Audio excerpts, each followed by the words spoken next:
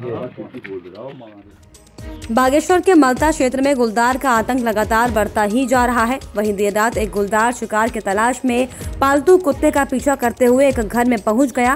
वहीं गुलदार को भागते हुए कमरे में जाते देख आसपास मौजूद लोगों ने बाहर से कमरे का दरवाज़ा बंद कर दिया। आपको बता दें कि ये घटना स्थानीय निवासी पूरन सिंह के घर की है, जहाँ पर गुलदार पूरी रात कमरे में बंद रहा और इसके बाद आनंद फानन में स्थानीय लोगों ने वन विभाग को गुलदार की सूचना दी और सुबह वन विभाग की टीम ने पहुंचकर गुलदार को अपने कब्जे में लिया। वहीं पहाड़ी इलाकों में गुलदार का खतरा स्थानीय लोगों के लिए चिंता का विषय बना हुआ है और लोग विभाग से रात में ही गश्त की मांग कर रहे हैं।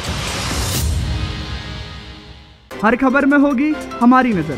खबरों से जुड़ने के लिए हमारे चैनल को सब्सक्राइब करें और बेल आइकन दबाना ना भूलें।